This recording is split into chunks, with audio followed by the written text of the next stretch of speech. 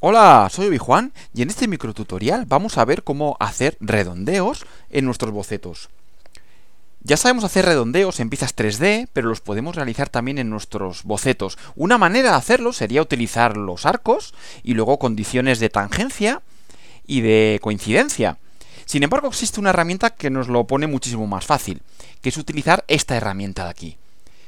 Pues le damos y vamos, si queremos redondear dos segmentos que están unidos, simplemente le damos a uno, le damos al otro y ya se nos redondea. Para salir de la herramienta de redondeo le damos al botón izquierdo o le podemos dar también al escape. Y veis que en este redondeo en realidad lo que se nos ha creado pues es un, un arco, condiciones de tangencia y condiciones de coincidencia. Pero con esta herramienta pues lo hacemos todo mucho más fácil. Además, la herramienta de redondeo nos permite también crear arcos en segmentos que no sean coincidentes. Por ejemplo, si señalamos esta línea y esta línea, pues se nos crea aquí un arco que nos una a los dos. Lo mismo lo podemos hacer con estas. En este caso, el arco se nos va a crear siempre por las que forman un ángulo menor de 90. Es decir, se nos va a crear por este lado. Le damos aquí, le damos aquí, y se nos crea el arco. Si queremos crear ahora un arco en el otro lado, pues hacemos que esto tenga un, un ángulo menor de 90. ¿no? Esto lo podemos mover. Y, y ahora al darle a la herramienta de creación, se nos cierra ahí y creamos un objeto cerrado con dos arcos. Pero también podemos redondear rectángulos, por ejemplo, este de aquí, si queremos que tenga las esquinas redondeadas, pues podemos hacer así. Podemos hacer así. Así y así, y se nos redondea. Aquí nosotros decidimos si el redondeo lo hacemos en el boceto o lo hacemos en la pieza en 3D. Hacerlo en el boceto tiene la ventaja de que te queda ahí en el plano y puedes... te queda más bonito porque te... es parte del plano. Pero a lo mejor en piezas muy complicadas es mejor hacerlo en el 3D. Y como último ejemplo vamos a redondear este triángulo. Lo mismo. Señalamos y se nos redondean todas las partes. Pues bien, como ejemplo de aplicación vamos a hacer una pieza como esta, que es una pieza en cruz, que están redondeados los extremos y las partes interiores, y esta es una pieza genérica que me he inventado, pero es como es similar a las que tienen los servos, las coronas de los servos, de cuatro brazos. Pues bien, vamos a crear esta pieza. Vais a ver que, que fácilmente se crea con estos redondeos. Primero vamos a hacer el boceto completo de la pieza. Aplicamos la multilínea y hacemos una pieza con cuatro brazos. Así. En realidad es una estrella que tiene cuatro brazos. Así. Y ahora que sea coincidente. A ver. Ahí, coincidente. Ahí está. Y ahora le aplicamos la herramienta de redondeo. Queremos que redondee esta y esta. Queremos redondear aquí y aquí. Redondeamos aquí y aquí redondeamos aquí y aquí. La tenemos. Ahora vamos a aplicar simetrías. Vamos a aplicar una simetría de los centros. Aquí. Y vamos a hacer que este coincida. Lo vamos a poner también coincidente con, con el eje X. Lo mismo con el eje Y. Hacemos que sea simétrico con respecto al eje X. Lo hacemos coincidente con el eje Y. Ahora vamos a hacer que, que todos los arcos sean iguales. Aplicamos una restricción de igualdad.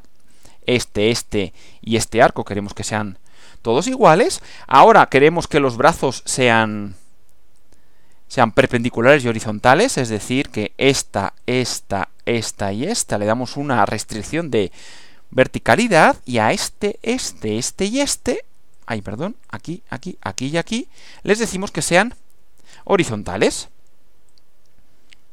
Aquí lo tenemos. Y ahora le decimos que esta y esta queremos que sean iguales también. Con lo cual lo tenemos ya, que, nuestra pieza es todo exactamente igual. Y ahora ya vamos a hacer los redondeos de las caras internas. Por lo mismo, aplicamos nuestra herramienta de redondeo y le decimos que aquí y aquí un arco, un arco, otro arco y otro arco. Y lo mismo queremos que los arcos sean todos iguales en este caso. Sean todos iguales y ahora ya le damos los valores. Pues por ejemplo aquí vamos a fijar el radio a... A 3, me los estoy, me los estoy inventando. Esta no es una pieza real. Ponemos 3, hacemos que el radio de los brazos exteriores lo fijamos también. Pues por ejemplo a, a 9. Y ya solo me queda un grado de libertad, que son las dimensiones, y vamos a establecer las dimensiones entre los centros. Vamos a darles pues una distancia, por ejemplo, de 80.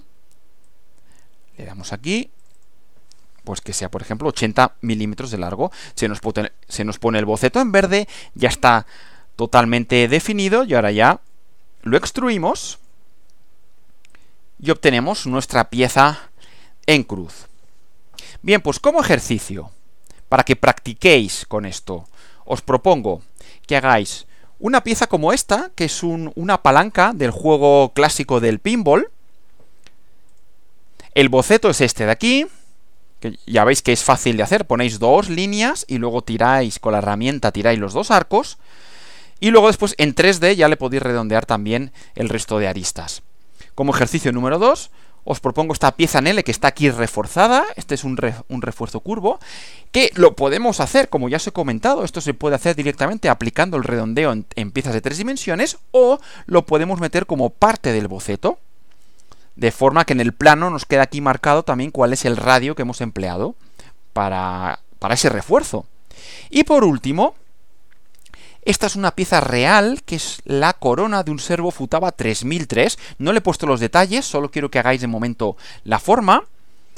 Y aquí tenéis las medidas, las dimensiones reales. Esta pieza es un poquito más complicada, porque veis que tiene aquí unas formas, las he cogido de la pieza real. Y fijaros que aquí le he puesto líneas auxiliares que son las que utilizo para darle las dimensiones. En vez de establecer las dimensiones entre centro y centro de los arcos, he puesto las dimensiones entre los extremos. Pero los extremos finales no, tenemos puntos, con lo cual hay que tirar una línea auxiliar para conseguir los dos puntos y a partir de ellos tirar las, las restricciones de cotas horizontales. Esto es todo desde Obi-Wan Academy. Que el software libre os acompañe.